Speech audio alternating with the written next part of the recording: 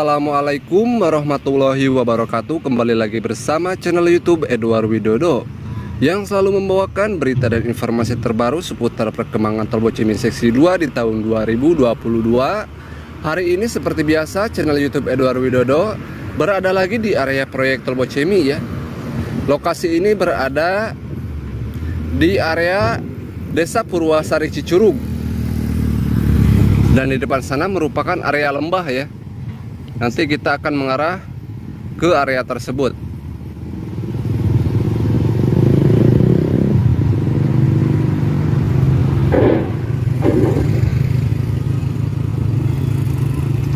Oke seperti inilah antrian beberapa unit uh, dump truck ya yang mengangkut tanah dari area Kampung Kebon Kaung Desa Nangrang yang kemudian dibawa ke area lembah Purwasari Cicurug yang di depan sana ya.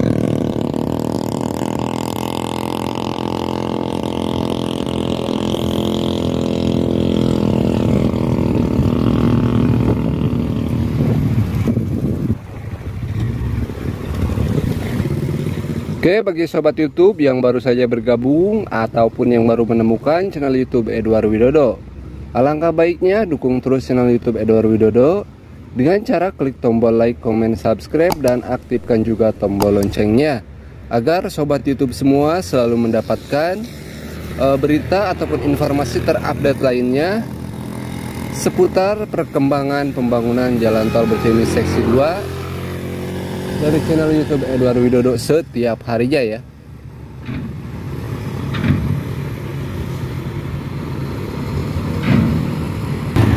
Oke, dan arah ke depan sana menuju ke area ataupun ke wilayah Bogor Jakarta ya. Terlihat beberapa unit dump truck baru turun nih dari garasi.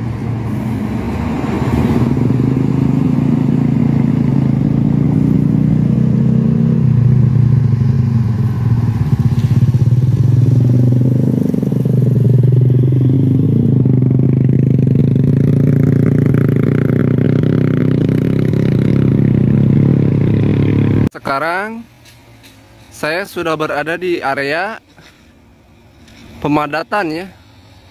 Tepatnya di area lembah Purwasari Cicurug. Terlihat di depan sana juga ada dua eskavator ya.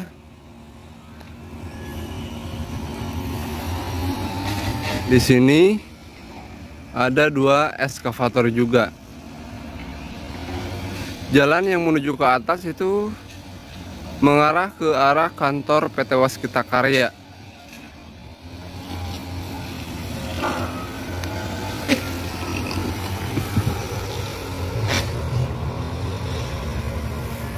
Eh, kondisi lembah yang akan dipadatkan.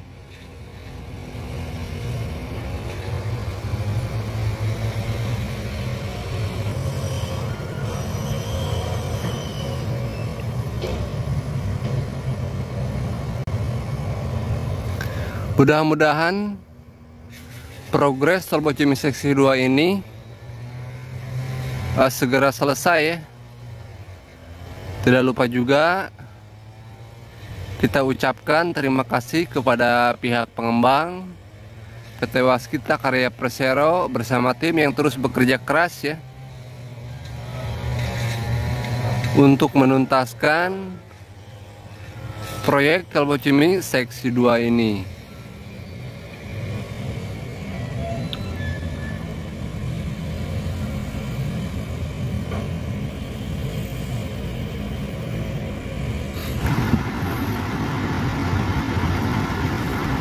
Oke, terlihat ya di sini beberapa unit dump truck masih mengantri ya.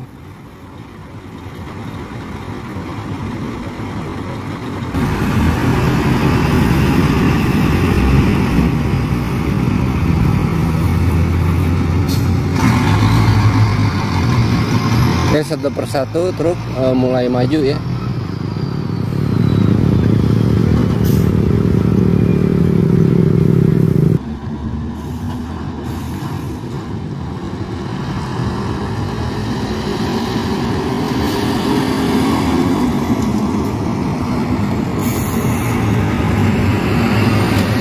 Depan sana merupakan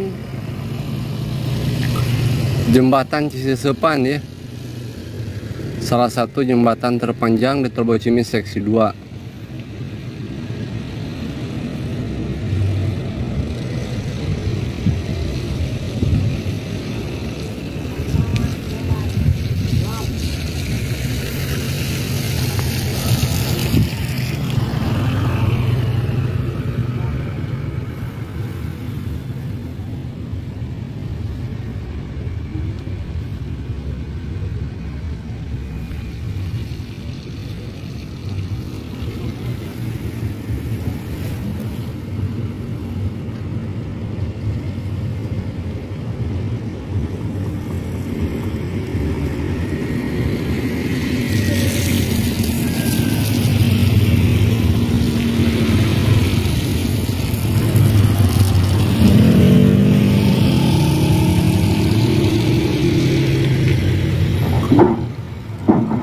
terlihat uh, satu dam truk membawa tanah ya dari arah kampung Kebon Kaung ataupun tebing Desa Nangerang.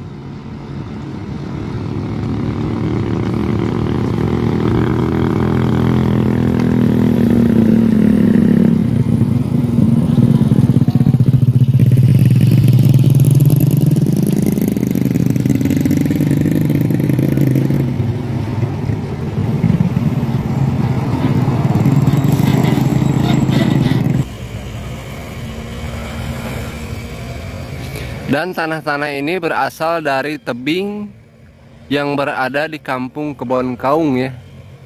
Desa Nangrang, Kecamatan Cicuru, Kabupaten Sukabumi.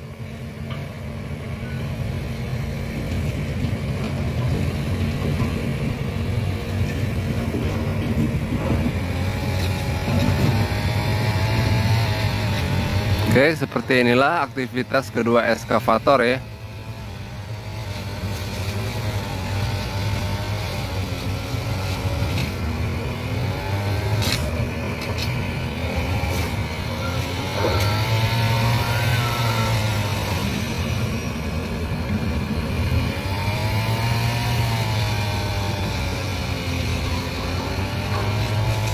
Jadi tol Bocimi seksi 2 ini di beberapa titik ya yang pengerjaannya lumayan berat. Lokasi pertama berada di area Kampung Manggis. Kemudian di area Kampung Kebon Kaung ya.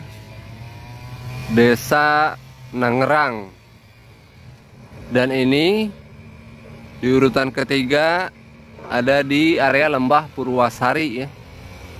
Seperti ini penampakan lembahnya. Setelah dari sini di area pemadatan kampung Cijawa ya. Dan yang terakhir di area Simpang Susun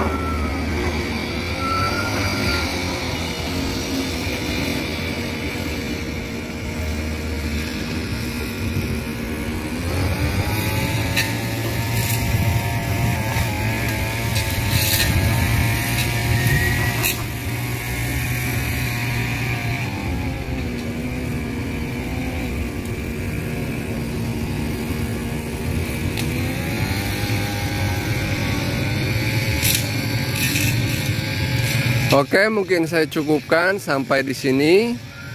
Untuk berita dan informasi seputar perkembangan Tol Bocimi Seksi 2 di tahun 2022. Mohon maaf apabila masih banyak sekali kekurangan di dalam penyampaian maupun pengambilan gambar. Akhir kata, wabillahi taufiq wal hidayah.